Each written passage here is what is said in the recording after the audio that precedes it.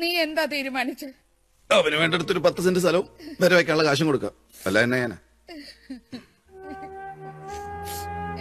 പിള്ളാരെ കൊണ്ടുപോയില്ലെന്ന് ഓർക്കുമ്പോഴാ. മക്കളെ കൊണ്ടുപോയി ഇങ്ങനെ മൂക്കളെ ചീറ്റി കളഞ്ഞിട്ട് എന്നാ കാര്യം? എന്റെ പൊന്നമ്മച്ചി ഒന്ന് കരയാതിരി. എടാ മാമച്ച കല്യാണ കാര്യത്തിൽ നീ ഇങ്ങനെ ഒരു ഉഴപ്പ് കാണിക്കരുത്. എന്റെ കാലം കഴിഞ്ഞാൽ നിനക്ക് പിന്നെ ആരും ഉണ്ടാകുകയല്ല. ഉഴപ്പോ ഞാനോ?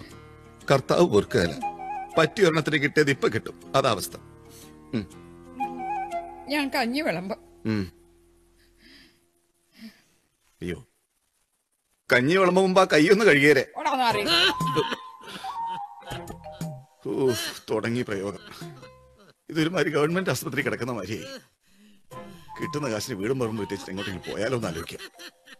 പാപ്പനാണ് പോലും കോപ്പൻ. തൃണമൂൽ കോൺഗ്രസിന് വൻ നേട്ടം. കേരളം ഉൾപ്പെടെ അഞ്ച് സംസ്ഥാന